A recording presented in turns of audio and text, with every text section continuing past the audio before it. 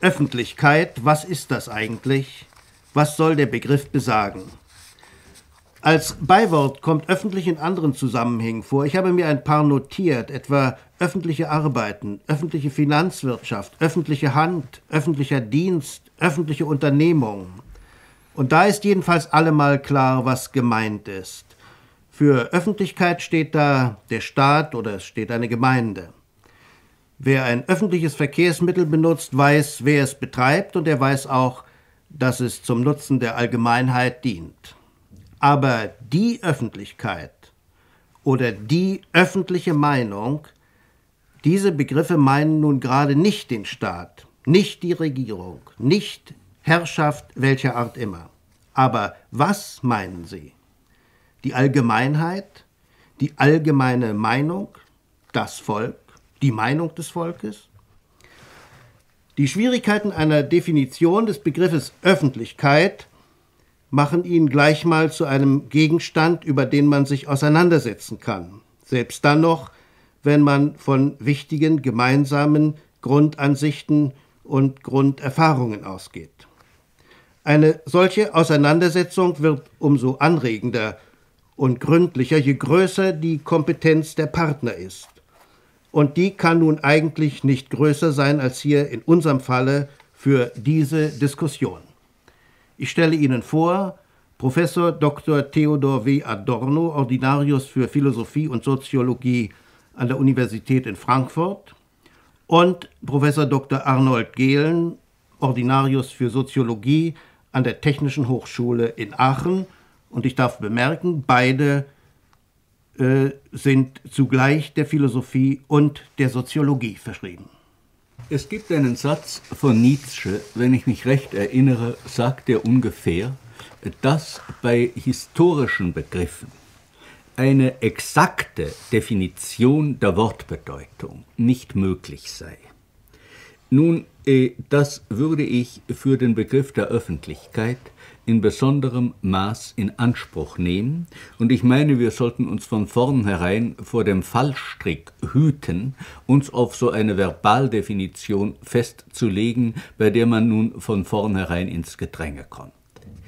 E Öffentlichkeit in dem prägnanten Sinn, Öffentlichkeit als Kategorie, Öffentlichkeit als, man könnte fast sagen, eine bestimmende Form äh, des gesellschaftlichen Bewusstseins ist ein Begriff, äh, der wesentlich polemischen Sinnes ist und der nur aus seinem polemischen Stellenwert ganz entstanden ist. Das will nicht sagen, dass es nicht immer schon so etwas gegeben hätte, aber er ist zum ersten Mal ja formuliert worden von dem englischen Philosophen und Staatstheoretiker John Locke, äh, und zwar in offensichtlichem Gegensatz zu der äh, geheimen Kabinettsdiplomatie des Absolutismus, gegen den Locke sich gewendet hat. Also äh, wenn ich sage, Öffentlichkeit in diesem prägnanten Sinn ist ein polemischer Begriff, so soll das so viel heißen, wie dass er eigentlich eine Forderung ist und gar nicht ein Ding nämlich die Forderung, dass das öffentlich werde, was von allgemeinem Interesse und von allgemeiner Wichtigkeit für diejenigen Menschen und Menschengruppen ist, die es betrifft, das aber vorher nicht ebenso öffentlich war. Davon, also wenn ich es so nennen darf, von einem solchen Funktionsbegriff der Öffentlichkeit als äh, einem zwischen äh, dem, äh, den Tatsachen und den lebendigen Menschen herzustellenden Verhältnis, davon würde ich jedenfalls äh, zunächst einmal ausgehen, wenn wir uns näher dessen versichern wollen, was es mit der Öffentlichkeit für ein. Herr Professor Gehlen? Herr Adorno, ich gebe Ihnen zu, dass man von Öffentlichkeit ähm, vielleicht nicht in, einem, äh, in der Absicht äh, einer Definition reden kann. Ähm, nicht ganz so sicher bin ich in der Zustimmung bei Ihrer These, äh, dass Öffentlichkeit immer ein polemischer Begriff ist. Wenn wir in der äh, Kulturgeschichte zurücksehen, da finden wir, glaube ich, doch äh, als ein immer wieder erscheinendes, offenbar mit der Verfassung des Menschen zusammenhängendes Phänomen dieses, das aus bestimmten, zwar sind es typische Anlässe, dass aus bestimmten Anlässen heraus sich so etwas wie Öffentlichkeit herstellt. Die Menschen sind nun einmal äh, Wesen, die sich gegenseitig im Auge behalten und es kommt vor, dass es eine zentrierte Teilnahme aller an derselben Sache gibt. Aller. Und dann ist doch Öffentlichkeit gegeben. Und beispielsweise, also wenn Feste gefeiert werden oder auf dem Markt oder beim Auftreten, durchaus auch, ja, da wird es politisch beim Auftreten der Macht oder bei Neuigkeiten, die sich herumsprechen oder der Herold sagt sie. Das sind alles lange zurückliegende Zeiten, aber sie haben doch äh, so ähnlich wie die unmittelbare Demokratie, nicht wahr, haben Sie das Verdienst, uns irgendwie äh, einen Start zu geben in den Vergleich hinein, nicht? Und in dem Sinne äh, wollte ich das mal erwähnt haben. Auch Kirche, äh, das ist Öffentlichkeit, Gericht ist Öffentlichkeit. Nicht? Also Wesen, in deren Natur es liegt, gelegentlich nicht mal gemeinsam an derselben Sache teilzunehmen und sich dabei sehen zu treffen. Ansehen hängt da auch drin. Nicht? Das ist Öffentlichkeit in einem, glaube ich, unpolemischen und primitiven Sinn. Ja, ich würde das gar nicht in Abrede stellen, aber ich meine, es gibt doch einen Unterschied, den man festhalten muss zwischen, wenn ich es einmal eine Sekunde lang in Hegelscher Sprache ausdrücken darf, zwischen Öffentlichkeit an sich und Öffentlichkeit an und für sich. Also einer Öffentlichkeit, die sich als solcher selbstbewusst ist und die auf ihren eigenen Begriff reflektiert. Und das Letztere, äh, dass natürlich diese Momente, die, äh, von denen Sie sprechen, in sich enthält, das scheint mir eben doch etwas ein spezifisch modernes Phänomen zu sein. Mit anderen Worten also, ich glaube schon, dass äh, Öffentlichkeit in diesem Sinn äh, ein äh, spezifisch demokratischer Begriff ist. Und zwar, und ich, das ist doch kein Zufall, dass er genau an der Stelle auftritt, wo es so etwas wie unmittelbare Demokratie, also Face-to-Face-Relationships nicht mehr, nicht mehr gibt. Ja. Es ist kein Zufall, dass die Konzeption der Öffentlichkeit in ihrer ersten Zeit, eben in der Phase von Locke, also in der Zeit der englischen Revolution, äh, ja äh, sich verbindet mit dem ersten Auftreten einer Presse und das also mit Namen äh, wie denen der ersten großen Journalisten, wie dem von Daniel Defoe, äh, sich der Begriff der Öffentlichkeit dann auch wirklich so nachdrücklich äh, verbunden hat. Ich glaube, dass das deshalb wichtig ist. Ich äh, insistiere darauf, nicht äh, äh, aus Pedanterie und um auf äh, solche begrifflichen Unterschiede einen übermäßigen Wert zu legen, äh, sondern ich halte das deshalb für wichtig für die Sache, weil das, was an dem Begriff der Öffentlichkeit so merkwürdig ist, nämlich dass äh, dieser Begriff, der, wie ich es nannte, funktionell ist, der sich also auf ein Verhältnis zwischen den Tatsachen und dem Bewusstsein der Menschen bezieht, dass sich der verselbstständigt und vergegenständlicht hat, zu einer eigenen Macht, zu einer Sondersphäre geworden ist, was einfach genau damit zusammenhängt, dass es nicht mehr diese Sphäre der Unmittelbarkeit, der primären Gemeinschaft ist, äh, sondern eine, in der also die Menschen, wie man heute so schön sagt, einander entfremdet sind und in der dann die Öffentlichkeit auch selber äh, ja äh, eigentlich zu dem Gegenteil von dem wird, was sie eigentlich sein soll, nämlich zu einer verdinglichten Form gerade dessen, was seinem Wesen nach nicht dinglich, sondern ein Verhältnis zwischen, zwischen lebendigen Menschen. Ja, ich darf, ich, darf ich eine Zwischenfrage stellen? Hm, wenn man also schon nicht definieren kann, was Öffentlichkeit ist, äh, kann man wenigstens äh, beschreiben, welcher Vorgang sich, welcher Vorgang da äh, sich entwickelt, welcher Prozess das spielt. Ich, ja, das würde ich so versuchen. Ich kann nämlich mit Herrn Adorno weitgehend mit. So wie es eine repräsentative Demokratie gibt, eine vermittelte, eine wenn die Gesellschaften sehr groß werden. Nicht? Also gibt es auch eine vermittelte Öffentlichkeit. Ja, und auch der Begriff ist gerade von Locke konzipiert worden, ja, der vermittelten ja. Demokratie. Gibt es eine vermittelte Öffentlichkeit, sobald die Leute sich nicht mehr im Auge haben. Und äh, so gibt es nun eine in, in neuester Zeit, nicht wahr, eine technisch vermittelte Teilnahme aller oder angeblich aller oder sehr vieler an denselben Inhalten, die jetzt technisch an sie herangetragen werden. Nicht nur ist selbstverständlich, dass ich damit auf die Massenmedien, sogenannten Massenmedien anspiele. Äh, Herr Adorno, da habe ich gehört, äh, den Begriff äh, Presse als Medium der Öffentlichkeit. Würden Sie das in diesem Sinn akzeptieren?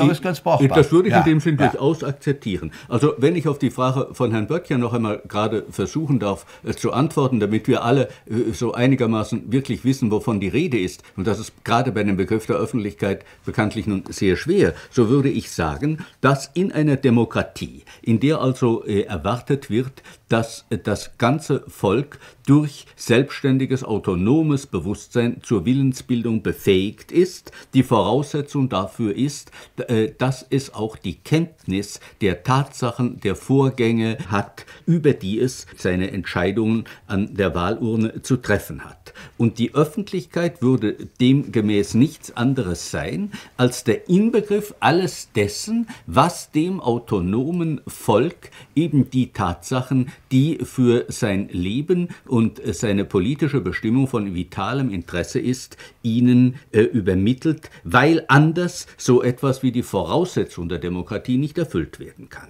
Aber indem nun das nicht mehr unmittelbar ist, sondern ein solcher Medien, solcher Vermittlungsinstanzen bedarf, liegt darin bereits die Tendenz jener Verselbstständigung der Sphäre der Öffentlichkeit gegenüber den Menschen, die sie eigentlich gilt, die schon allein durch das Substantiv die Öffentlichkeit angezeigt wird und dem Verhältnis zwischen dieser gegenständlich gewordenen Öffentlichkeit als Medium und der Öffentlichkeit als einem Funktionsbegriff zwischen den Menschen und den Sachen, die sie was angehen, das ist eigentlich das Thema äh, der, ja, also der Geschichte der Öffentlichkeit oder, wenn Sie so wollen, auch der Verfallsgeschichte der Öffentlichkeit. Ich glaube schon, dass es äh, richtig ist zu sagen, eine Verselbstständigung oder wie sagten Sie, eine Hypostasierung. Ja, Verdinglichung. Verdinglichung. An der Stelle wird mir also nun unheimlich. Nicht?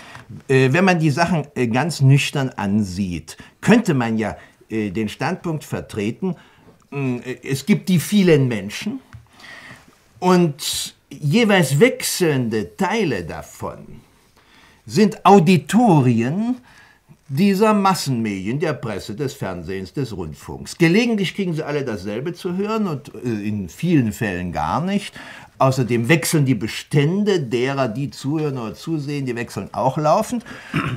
Das wäre eine recht nüchterne Sache. Wenn man das dann mit dem Begriff die Öffentlichkeit fiktiv idealisierte, wir verlieren übrigens dann auch den Kontakt mit der äh, ganz interessanten Umfrageforschung, die uns ja dann gelegentlich belehrt, was ja. wirklich oder wie wenig wirklich in der sogenannten Öffentlichkeit ankommt. Nicht? Genau.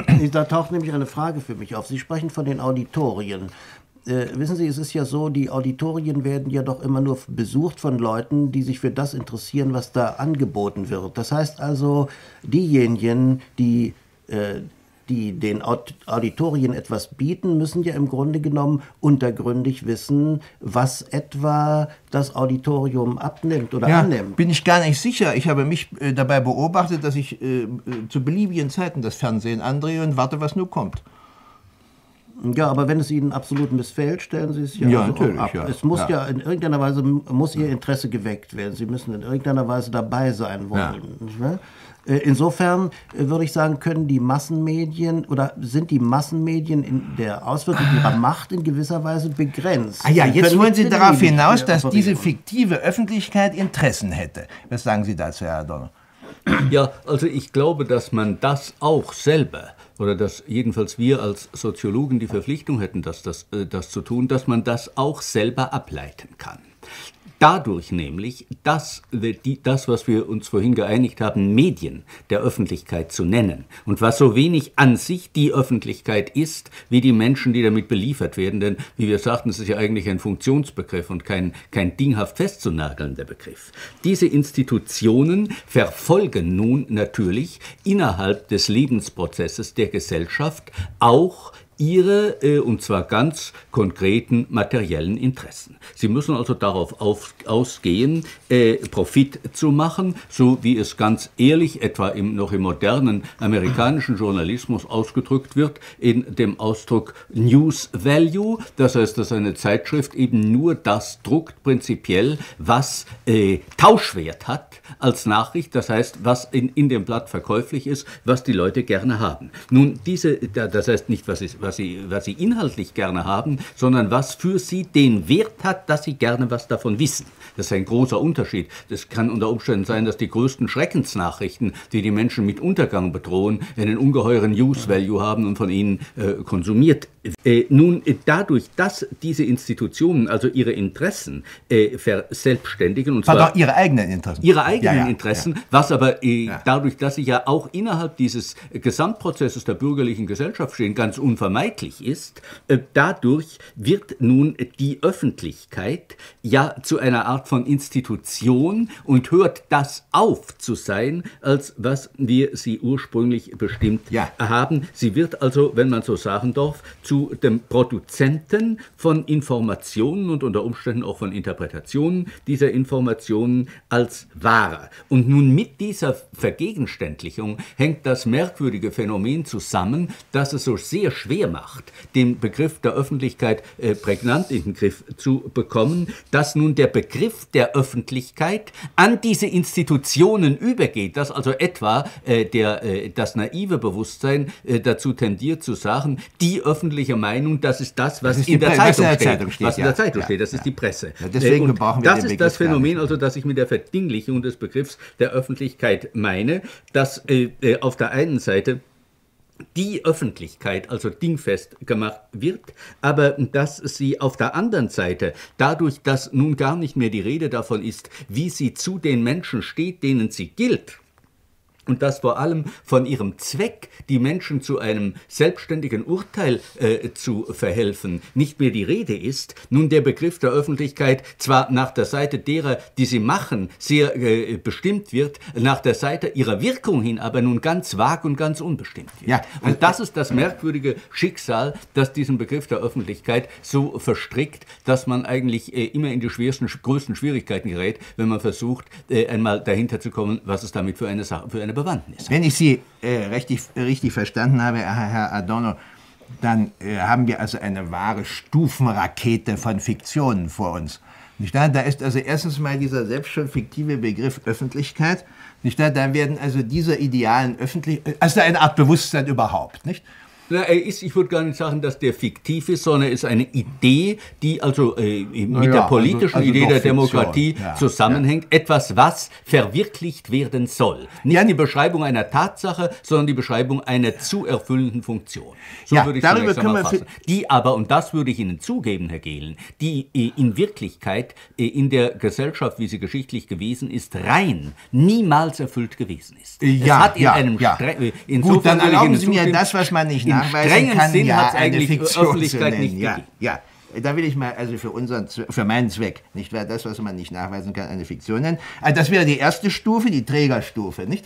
Und dann kommen, äh, dass dieser idealen Öffentlichkeit Interessen zugeschrieben werden. Und dann war aber äh, Herr Adorno. Dadurch, dass sie eben nicht mehr diese Ideale ja, ist, sondern ja. übergeht an die Medien, die sie besorgen soll. Ja, genau. Da ist, ja. Das ist die dritte Stufe, nicht wahr? Da werden dann die Klasseninteressen der Newsmen, nicht wahr, werden dann mit den Interessen dieser Öffentlichkeit identifiziert, nicht? Es äh, dazu, dazu kommt es, wobei ja. es sogar weitgehend gar nicht einmal mehr die Klasseninteressen der einzelnen Newsmen sind, äh, sondern äh, wie das mit all diesen sogenannten Massenmedien vor allem in unserer Zeit ist, die einzelnen Menschen werden zwar nicht ganz, aber in einem sehr hohen Maß Funktionen ihrer eigenen Apparatur. Das heißt, was, dann, zugeben, ja, was ja. dann, ein Journalist unter dem Titel News Value in seine Zeitung bringt, wird äh, äh möglicherweise von seinem eigenen Urteil über die Relevanz äh, äh, der Fakten ganz weit variieren. Ja.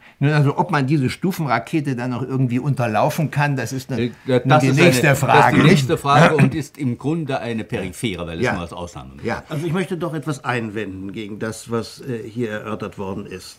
Ich würde sagen, die Presse oder wenn nicht äh, besser äh, sagt man vielleicht die Verleger sind sicher äh, diese Leute, die das Profitinteresse an den Massenmedien vertreten. Von den Publizisten würde ich das also doch mindestens nur mit Einschränkungen äh, für, äh, für gültig halten.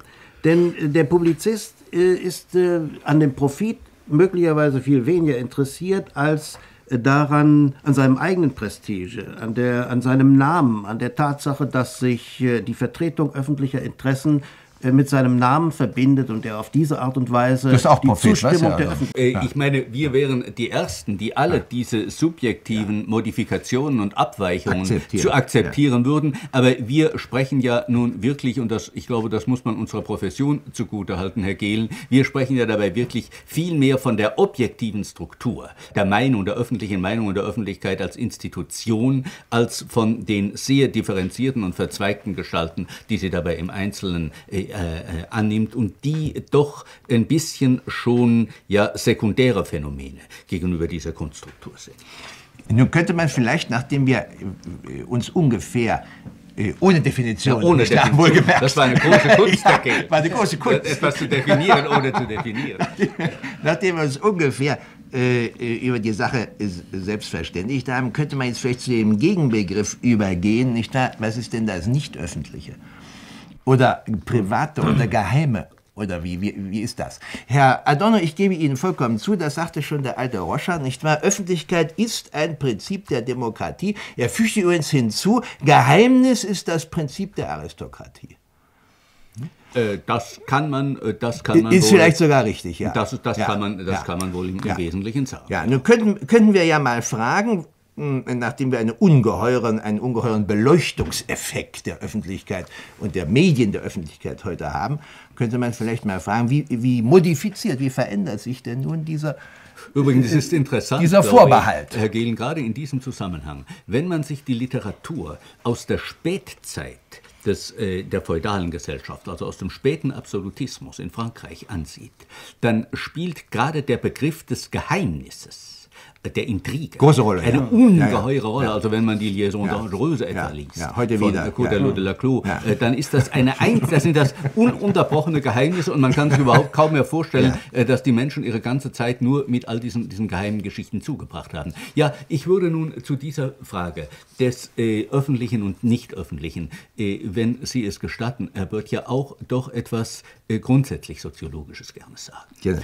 Nämlich, äh, die Gesellschaft ist ja doch so, in der wir leben, dass ein gewisser Gegensatz zwischen den Interessen der einzelnen Menschen, ihren unmittelbaren Interessen und dem Interesse der Gesamtheit fortbesteht. Ich glaube, dass eine Harmonie zwischen den Interessen der einzelnen Individuen und dem, der Gesamtheit der Gesellschaft bestünde, kann wirklich nicht gesagt werden. Frage, ob sie wünschbar wäre. Das ist, andere Frage. äh, das, äh, das, ist, das ist noch eine, eine andere und eine äußerst ernste Ja. Frage. Ich- Aber jedenfalls, es gibt einen Antagonismus.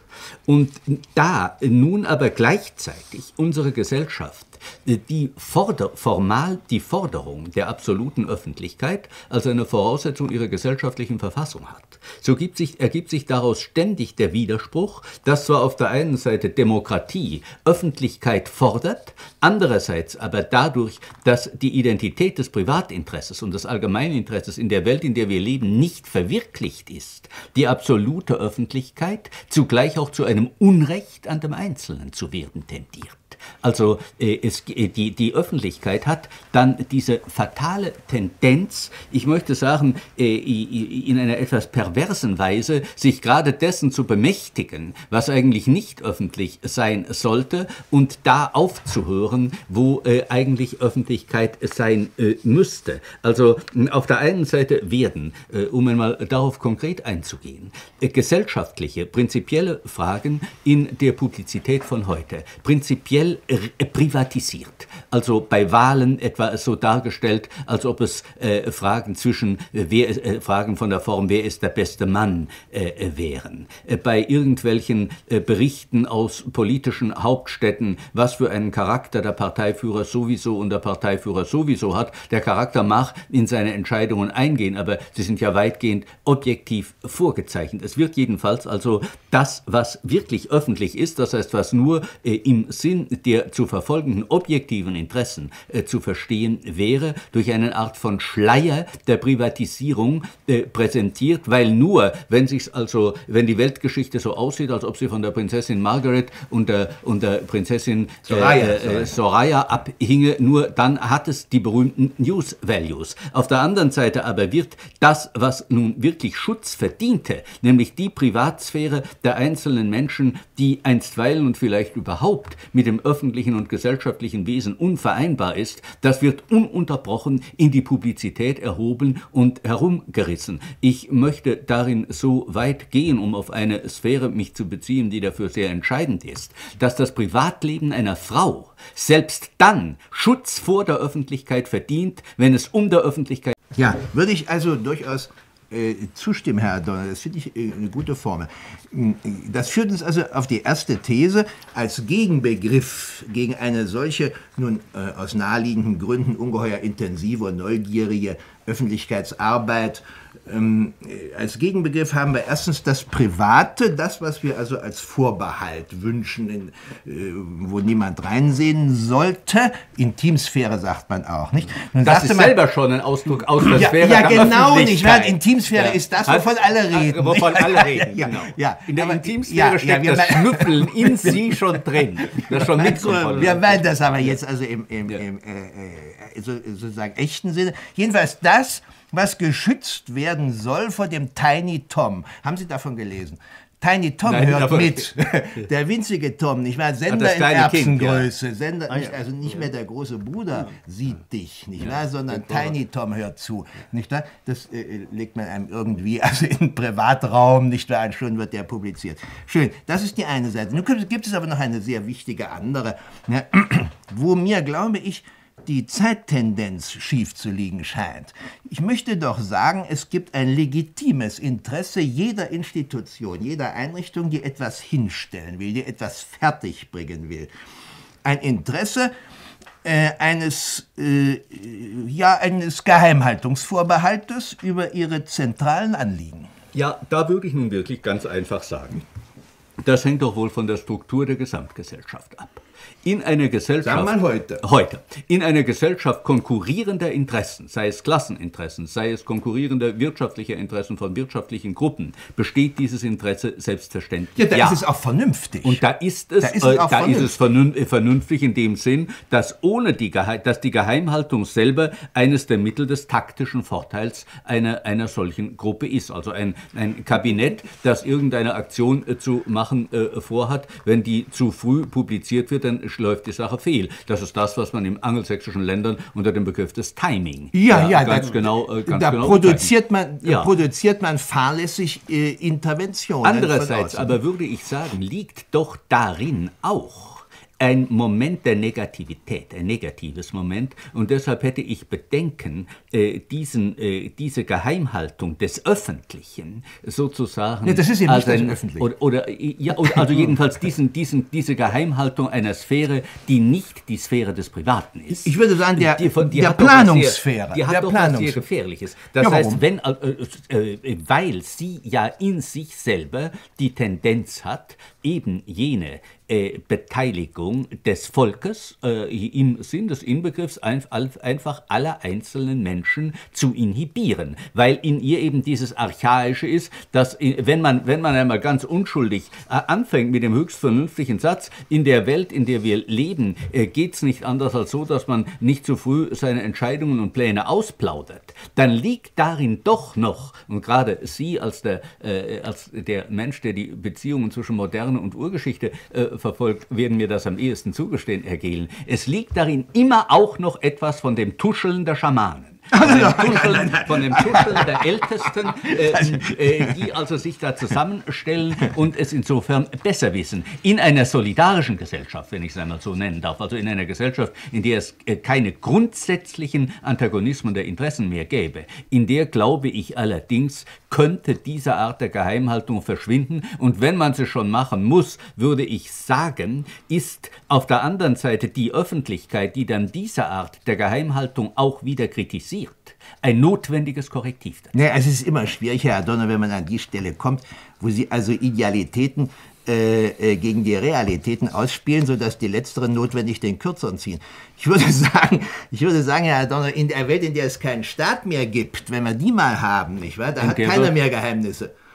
Das, das, so weit würde ich Oder gar nur nicht, noch privat. So weit, ja. würde, ich, äh, so weit ja. würde ich gar nicht gehen. Ich, ich, würde sagen, in einer solidarischen Gesellschaft würde äh, auf, auch auf der anderen Seite gar nicht der Drang mehr herrschen, äh, das Private und das Einzelmenschliche so zu veröffentlichen, was ja selber eine Ersatzbefriedigung ist, die in letzter Instanz auf Unterdrückung zurückweist. Äh, aber ich meine nur, äh, ich meine nur, dass das eine, Herr Gehlen, wenn schon in der Welt, in der wir sind, ich möchte gar nicht mit abstrakten Utopien operieren, aber wenn schon in der Welt, in der wir sind, die einzelnen Gruppen äh, zu äh, Nichtöffentlichkeit, zu Geheimnis, zu Intrige, zu allem, was damit zusammenhängt, gezwungen ist, dann liegt darin auch allerdings als Notwendigkeit des Korrektivs, dass die Öffentlichkeit eingreifen darf. Sobald was geheim gehalten wird, vor der Öffentlichkeit, was die Öffentlichkeit angeht, hat dann die Öffentlichkeit auch das Recht, sich darum zu kümmern. Das ja, also, ist eine Dialektik, aus der wir nicht herauskommen. Ja, Sie reden doch jetzt in voller Fahrt, nicht wahr, in der substantivierten Öffentlichkeit, die Sie eingangs abgelehnt haben.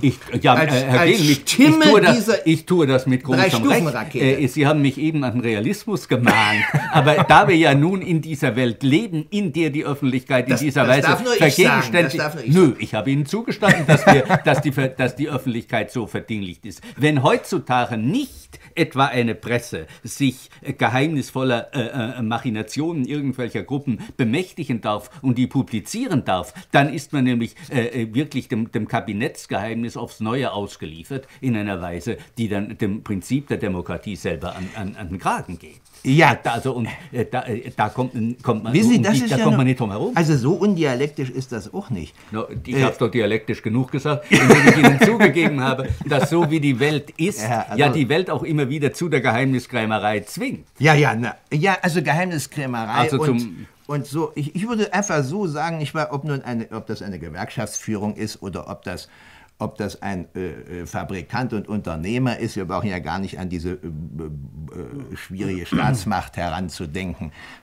Der, der kann doch unmöglich das, was er vorhat, wenn es überhaupt fertig werden soll, vorher ausplaudern. Wenn er das nämlich tut, nicht wahr, dann züchtet er sich selbst Interventionisten und Leute, die nun ihrerseits sich seiner Interessen annehmen. Gar nicht das ist ja einfach, einfach verrückt. Ja, gar kein Zweifel. Ich meine, de deshalb, ja. Äh, ich glaube wirklich, also ich denke so dialektisch, dabei wissen Sie auch, Herr Gehl, würde ich, würde ich denken. Nur diese Notwendigkeit gebiert aus sich allerdings auch dann die Notwendigkeit, äh, von den Interessen des Demos aus, wenn ich einmal so geschwollen reden soll, äh, dann wieder äh, diese, diese Partikularinteressen äh, der Geheimhaltung in der Öffentlichkeit zu kontrollieren und etwa darauf hinzuweisen, öffentlich, wenn irgendeine Institution, um ihre partikularen Zwecke äh, durchführen ja. zu können, dann ihre ihrerseits sich gegen äh, Grundverfassungen äh, äh, eines demokratischen Staatswesens Jetzt vergeht. verstehe ich Sie gut, nicht wahr? Das trifft sich mit einer Notiz, die ich mir hier gemacht habe.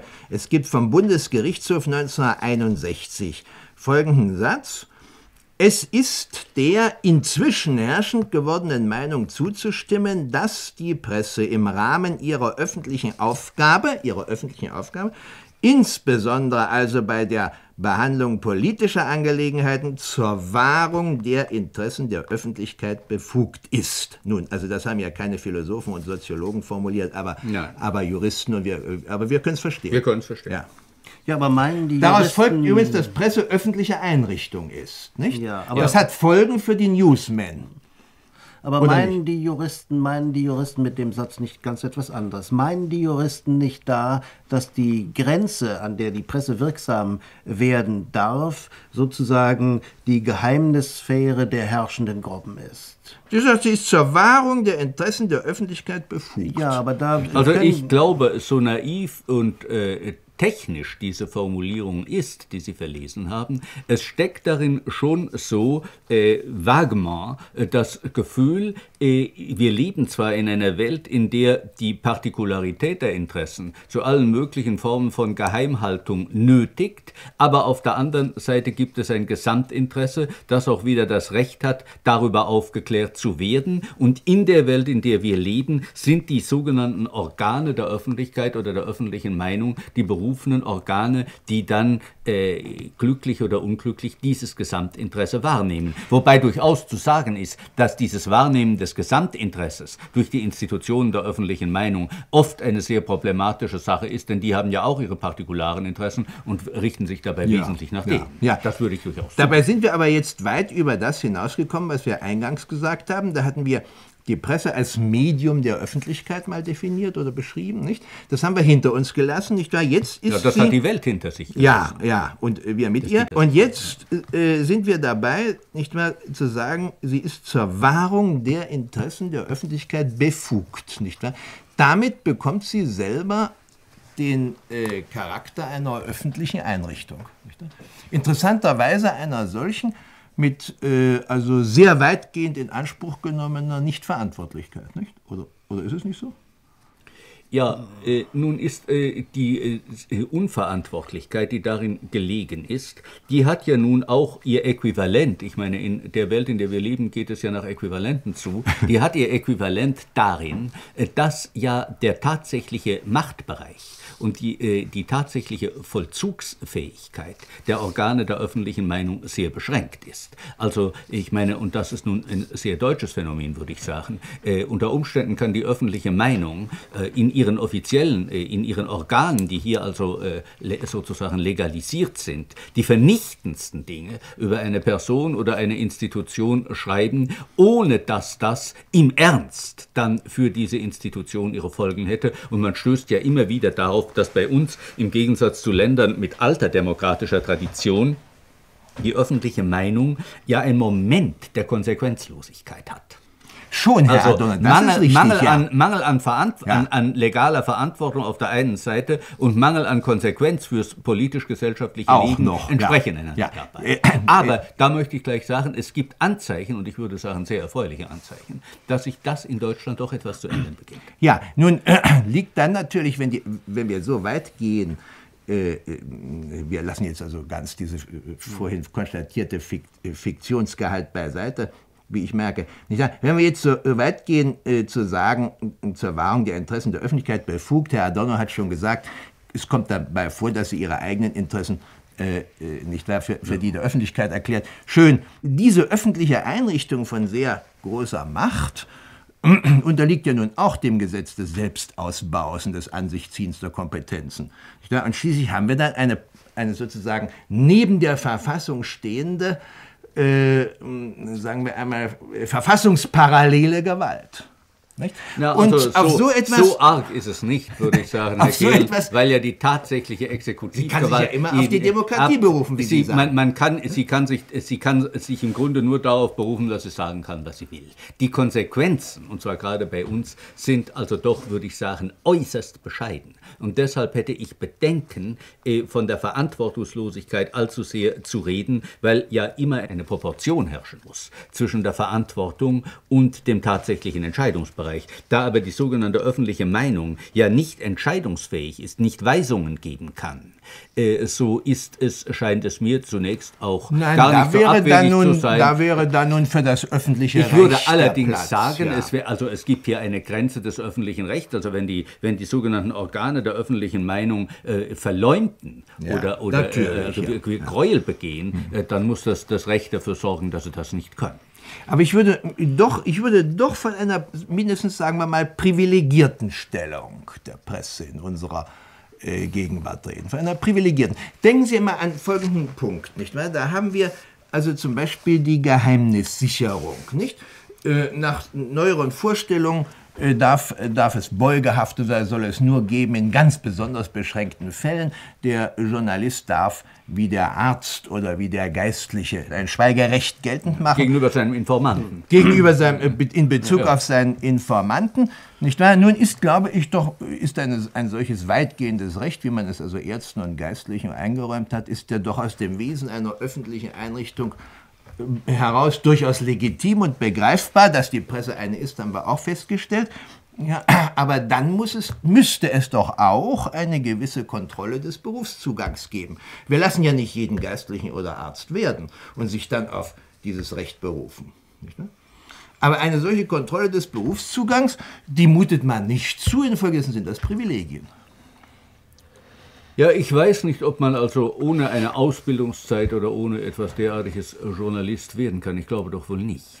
Aber äh, ich, ich, ich, bin da überfragt. nein, also das kann man natürlich absolut. Ich meine, Sie können mit einem mit, kann man schon. mit einer gewissen abgeschlossenen man Sachkenntnis, Stempel, ja. gleich ob das ja. nun ein Studium ist oder wie immer, Sie brauchen kein Diplom, um sich für eines Tages als Journalist anzufangen. Das unzweifelhaft ist so. Der Zugang ist da, aber äh, ist das ein Privileg? Das würde ja, ich sicher, fragen. sicher. Das ist aber wäre ein Privileg wie das, dass ich sagen kann oder drucken kann, was ich will, äh, unter Be äh, Berufung auf das, auf das Recht der, der äh, aber, Artikel der Presse. Naja, ich, würde eher sagen, dass, ich würde eher sagen, dass es noch ein, ein äh, Rudiment einer älteren äh, völlig äh, individualistischen Phase des Liberalismus. Und ich muss gestehen, ich wäre froh, wenn in einem ähnlichen Sinn auch in anderen Berufen der Zwang äh, zur Legitimation durch Examina und Prüfungen und solche Dinge gelockert wird. Auch noch gelockert. Ich würde, ja. ich würde eher dazu tendieren, zu sagen, es wäre äh, gut, wenn andere Berufe darin ein ähnliches Maß an Freiheit wieder hätten, als dass ich nun äh, hier eine bestimmte Art der Reglementierung äh, befürchten würde. Der Grund für diese Freiheit ist übrigens wahrscheinlich der, äh, dass gerade heute äh, und das ist eine Erfahrung, die Sie möglicherweise als Hochschullehrer ganz ähnlich machen wie ich, die Fähigkeit von ausdrucksfähigen Menschen, also von Menschen, die, die schreiben können mhm. und dadurch als Organe der öffentlichen Meinung überhaupt äh, äh, fungieren können, so klein ist und so schrumpft, dass wenn man die noch, noch mehr einschränkt, wenn sich da mal einer findet, der also wirklich ein bisschen schreiben kann, dass man dann schon überhaupt keine mehr bekäme. Ich glaube, das hat ganz ja, Außerdem Gründe. würde ich also noch zwei Einwände machen. Erstens, äh, der Zugang zur Politik ist also auch nicht äh, nur durch die Pforte von Diplomen möglich. Und äh, das wäre da also auch. Naja, nein, also es ist in der Verfassung steht ja nicht da, an der politischen Willensbildung sind die Parteien verfassungsmäßig beteiligt. Von der Presse steht nichts drin. Das macht die selber. Gut, und andererseits würde ich aber sagen, gerade die Tatsache des freien Zugangs zur Presse eröffnet allen, die an der, ich sage mal, Meinungsbildung oder Willensbildung teilnehmen, ja. die Möglichkeit, ja. sich zu äußern. Also beispielsweise Sie, Herr Gehl, Sie, Herr Adorno. Übrigens, genau, ja. ja. Wir haben einen freien Zugang zu diesen Mitteln. Übrigens, äh, für unsere Hörer, nicht wahr, wenn wir jetzt immer Presse gesagt haben, wir meinen eben immer alle Medien. Alle, alle Medien. Das ist so ein, so ein äh, stenografischer Ausdruck. Nicht, und ein, ein wahrscheinlich in gewissem Sinn bereits überholter Ausdruck, weil ja also gerade für die Information der größten Teile der Bevölkerung äh, wahrscheinlich heute bereits äh, Rundfunk und Fernsehen wichtiger geworden ja. sind. Ich habe noch eine. Wir sind da ein bisschen altmodisch, wenn wir so. Ja, sicher. Ich habe, ich habe noch eine, äh, geradezu eine Frage, Herr Adorno. Können Sie mit Folgendem was anfangen? Ich würde sagen, es gibt einen in der, in der Öffentlichkeit für die da, äh, daran Beteiligten, für diejenigen, die im Brennpunkt der Öffentlichkeit stehen, gibt es eine Art Realisierungseffekt. Ich würde sagen, das ist eine, so etwas wie eine Daseinserhöhung. Angesehen werden und Ansehen haben ist ja nicht umsonst sprachlich verwandt. Äh, ich kann mich da berufen auf äh, Hannah Arendt, die sagte, die Gegenwart anderer, die sehen, was wir sehen und hören, was wir hören, versichert uns der Realität der Welt und unser Selbst, verglichen mit der Realität, die sich im Gesehen und Gehört werden konstituiert, führen selbst die stärksten Kräfte unseres Innenlebens ein ungemein schattenhaftes Dasein. Das wäre die Behauptung, dass sobald man in den Raum der Öffentlichkeit eintritt, nicht wahr? So etwas wie eine, wie eine ähm, Potenzierung äh, der Lebenswirklichkeit eintritt. Ich finde Ja. das nämlich durchaus diskutabel. Das ist ein, ich glaube, das ist ein sehr schweres Problem. Äh, sicher ist, gibt es also dieses Moment und ich glaube, es wäre, äh, man, man äh, äh, verfügte nicht über das notwendige Minimum an Selbstbesinnung, wenn man sich das nicht zugestände, dass man also, wenn man an der Öffentlichkeit partizipiert, dass man irgendwie, ich meine, lassen Sie es uns so aussprechen, sich daran auch berauscht. Das ist das und und äh, dass man also, wie die Psychologen sagen würden, kann eine, eine Art auch- narzisstische, auch objektiver eine, Narzisst, ja. eine Art Ja. narzisstischen Lustgewinn. Ich würde denken, es ist sehr, es ist etwas sehr Subjektives. Denn, und ich glaube, da kommt man nun auf was sehr Ernstes. Auf der anderen Seite ist ja, das hat Ortega y Gasset zum ersten Mal ausgesprochen, das öffentliche Ansehen das, äh, wie Sie ganz richtig sagen, mit diesem Begriff Öffentlichkeit tief verbunden ist, hat ja heute selber ein Moment des Scheins. Es ist also, äh, ich meine, eine öffentliche Figur zu sein, das Wort Figur ist schon sehr interessant, Public Figure sagt man in den Ja. angelsächsischen Ländern, hat immer selber schon beinahe so etwas von dem Schauspieler der öffentlichen Rolle, die man dabei übernimmt. Und ich würde beinahe sagen, es, es herrscht eine Art verhängnisvoller äh, Proportion, Beziehung auf der einen Seite zwischen diesem Moment, sich, wie ich sagen würde, besoffen zu machen oder wie Sie sagen würden, ein Ansehen zu gewinnen, durch die Großer Beziehung, äh, äh, äh, durch die Beziehung auf die Öffentlichkeit und auf der anderen Seite dem, äh, dass heute äh, in der Öffentlichkeit Geltung haben. Äh, Gerade deshalb, weil die Mechanismen, die einen zu einem sogenannten Prominenten machen, selber in so weitem Maß gesteuert und so problematisch sind, hat das, äh, dieses Moment des öffentlichen Ansehens selber heute ein Moment, also ja, des Unwahrhaftigen, des, Ja. des Scheinhaften, Ja, ich das es also ja, in dem ja. 19. Jahrhundert so nicht gegeben hat, obwohl schon Flaubert einmal irgendwo geschrieben hat, dass er gleichzeitig den Ruhm verachte und sein ganzes Leben nur äh, daran wende, unsterblich zu werden. Was diesen Widerspruch, diesen unaufhebbaren Widerspruch, sehr exakt aus. Ich verstehe Sie nicht nur, sondern ich habe mir das auch notiert. Ich habe nämlich hier das Stichwort Denaturierungseffekt. Nicht wahr? Also, ich glaube, es gibt Folgendes. Es gibt eine solche, äh, einen solchen Realisierungseffekt, wie ihn Hannah Arendt da, da meint. Man sieht es ja ganz deutlich, ähm, äh, etwa bei Kindern, nicht wahr? Im, im, im, Verhalten von Kindern. Äh, untereinander. Nicht? Äh, es gibt da doch einen, einen Gewinn, einen Zuwachs an äh, Daseinsdichte, ähm, wenn man in der Öffentlichkeit sich unmittelbar, wenn man im Zentrum dieser Aufmerksamkeit steht. Das würde ich übrigens biologisch tiefer, nicht nur subjektiv verstehen. Ich glaube, dass man es sogar äh, bei Menschen biologisch ableiten könnte. Äh, Es gibt nun zweitens aber auch den Vernichtungseffekt. Wer aus diesem Raum Ja. ausgedrängt wird, das sehen Sie heute ganz gut, nicht wahr? Der, der kommt sich vor wie tot, in, in aller Regel. Nicht? Und dann gibt es äh, das, was Sie zuletzt mit Schauspielerei beschrieben. Ich würde sagen, man nimmt die Tatsache, da, äh, dass die anderen zusehen in, die, in- das eigene Auftreten hinein. Mir kommen also sehr viele Leute heute, die sehr berühmt sind, vor wie Schauspieler auf einer Laienbühne. Ja, genau. Nicht wahr? So ganz gu- gut können sie es nicht.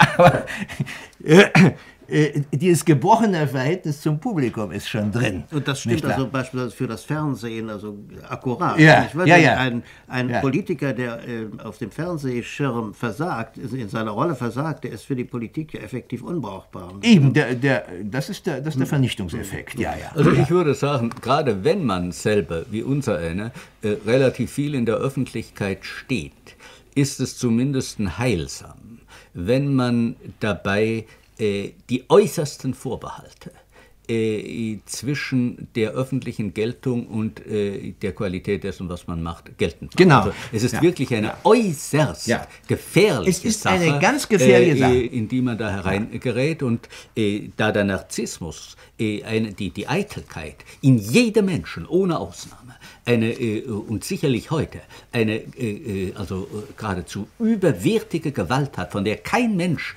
sich freiglauben darf, wenn er nicht ganz naiv und illusionär sein soll, soll, glaube ich, ist es gut, äh, wenn man es, äh, wenn man es also schon mit der Sache blutig ernst nimmt, wenn man dabei äh, also jenen, jenen Rausch der auch ein etwas Produktives hat. Das würde ich Ihnen durchaus zugeben. Ganz ohne den Rausch, äh, äh also ist, ist überhaupt Produktivität, ohne diesen Rausch der Öffentlichkeit, ist Produktivität äh, großen Stils wahrscheinlich nicht zu denken. Aber genauso gehört auch dazu wirklich das Bewusstsein, ja, also äh, der Eitelkeit im doppelten Sinn all dieser Dinge.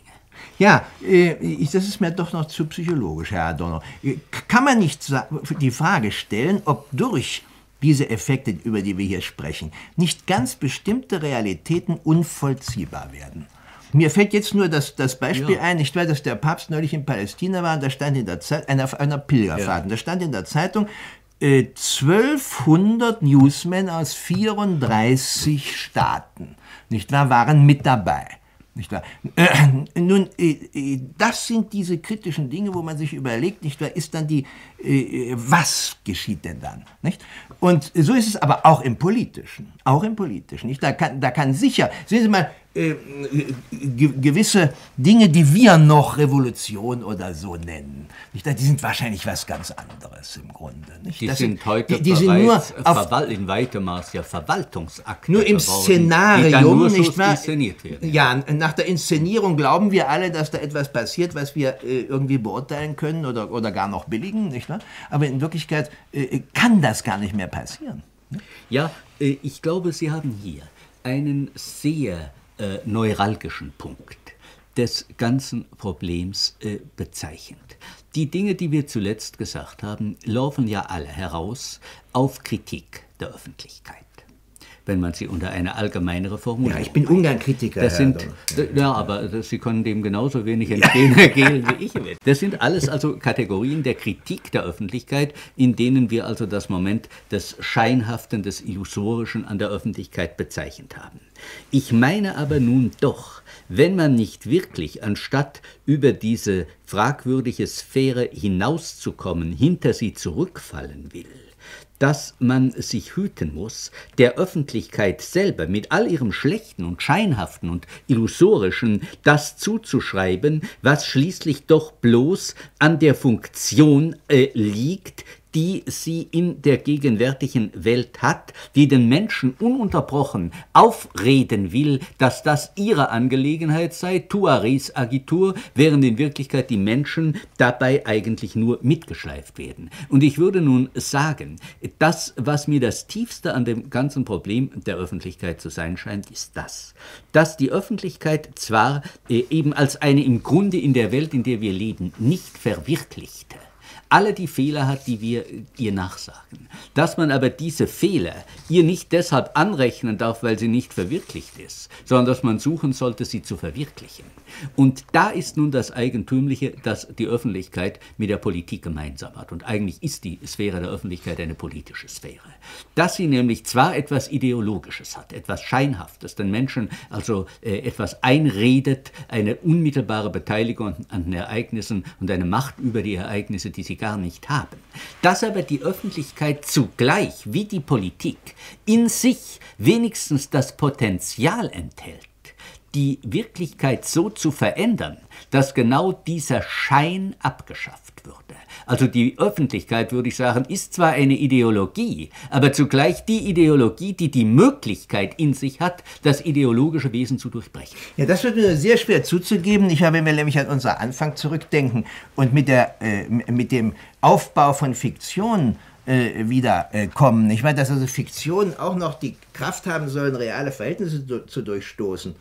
Äh, das ist ja nur also ja, äh, aber äh, ich kann da doch also vielleicht an ein Beispiel erinnern aus der letzten Zeit, nämlich an die Spiegel-Affäre. Ich möchte dabei auf das meritorische, äh, politische gar nicht eingehen. Ja, wissen Sie denn genau, was da passiert ist? Sicher genauso nicht. wenig, wie es sonst irgendjemand unter den äh, Formen der Scheinöffentlichkeit ja. weiß. Aber ich möchte äh, dabei auch eigentlich viel mehr heraus auf eine Beobachtung über diese Dialektik, die in der Öffentlichkeit liegt, als äh, dass ich äh, auf den Inhalt der ganzen Angelegenheit eingehen möchte, über den mir eben wirklich äh, nicht mehr bekannt ist, als halt so in den Zeitungen gestanden hat und, und in Rundfunk und Fernsehen zu hören war. Es ist also doch dabei so, dass eine ganze Reihe von Instanzen der sogenannten öffentlichen Meinung durch diesen Fall des Spiegels dazu gekommen sind, einfach aufgrund ihrer eigenen unmittelbaren Interessen, nämlich der Behauptung ihrer Meinungsfreiheit, von denen, von der ihr Prestige, ihre Aktionsfähigkeit, in letzter Instanz auch ihr materielles Schicksal abhängt, äh, Kritik an bestimmten Verhältnissen innerhalb unseres Staatswesens zu üben, die dann weit hinausgegangen ist über das, was sie ihrer allgemeinen politischen Position nach ohne weiteres an Kritik diesem Staatswesen gegenüber geübt hätten. Und es ist dadurch zwar ganz gewiss nicht eine Volksbewegung der öffentlichen Meinung entstanden, aber es ist dadurch doch äh, ja so etwas, man kann das nur vag ausdrücken, so etwas wie ein dämmerndes äh, demokratisches Bewusstsein, äh, äh, äh, jedenfalls aufgeleuchtet, äh, plötzlich ins Spiel gekommen, dass es in dieser Weise vorher in äh, unserer äh, Republik äh, nicht gegeben hat. Was ich also sagen will, ist, dass indem die öffentliche Meinung ihre partikularen Interessen so verfolgt, wie es in diesem Fall war, dadurch doch etwas von jenem über das Partikularinteresse hinausreichenden, wirklich aufklärerischen, die Menschen einbegreifenden, frei wird, äh, was eigentlich in der, in der Idee von Öffentlichkeit liegt. Und das scheint mir eben mit dieser Dialektik zusammenzuhängen, die genau die der Politik ist, dass hier eine Sphäre der Ideologie herrscht, die aber zugleich das merkwürdige Potenzial hat, dass sie über Ideologie hinausreicht und dass sie, äh, um ein berühmtes Wort zu äh, variieren, zu einer realen Gewalt wird, wenn sie die Menschen ergreift.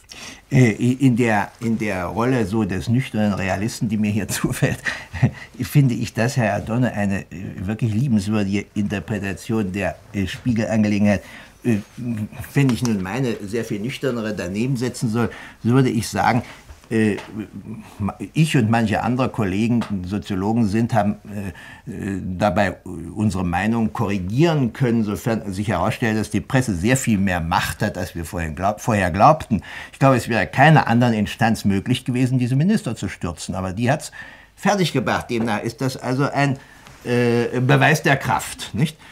Äh, ob das nun nicht ein Pyrrhus-Sieg war, Herr Adorno, und ob nicht sehr viel mehr stille Selbstkritik in den Kreisen der Redaktion selber äh, äh, seither geübt worden ist, das, das äh, weiß ich nun nicht. Nicht weil das kann ja nun vielleicht auch sein. Ja, aber diese Macht ist ja nicht eine Macht an sich, sondern sie, ist, äh, sie wird Macht erst durch die Tatsache, dass die Leser dieser Massenmedien äh, das akzeptieren, was die Massenmedien ihnen anbieten. Äh, das ist ja an sich nicht von vornherein selbstverständlich. Ja, ja, nun, also ob das nun wirklich eine Volks, so etwas wie eine Volksbewegung war, das ist eben sehr schwer zu sagen, das wissen wir nicht. Ich kenne keine Erhebung über die Prozentsätze der Leute, die wirklich an der Sache Interesse genommen wir haben. Wir haben am Institut für haben Sozialforschung eine, eine gemacht und die werden wir demnächst, demnächst veröffentlichen. Ja, ich rede ungern über ja, sicher, Resultate na, ganz klar, empirischer ja. Untersuchungen. Ja, ja, ja eh, eben, ja, eh, das also ist sie sozusagen. Die- Geheim- ehe, sie, ehe sie hieb- und stichfest sind. Aber ich glaube, so viel darf ich sagen, dass also der an, die Anteilnahme der Gesamtbevölkerung an der ja. Sache und auch der Informationsgrad Ja. erstaunlich hoch War- größer, ja. Viel größer, viel größer, als wir im Allgemeinen angeben.